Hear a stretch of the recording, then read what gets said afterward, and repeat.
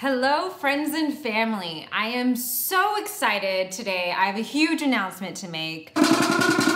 Andrea Garcia, the very talented Mexican actress who we are so grateful to have here in the United States of America now, is joining our cast. She will be portraying Tia Myra.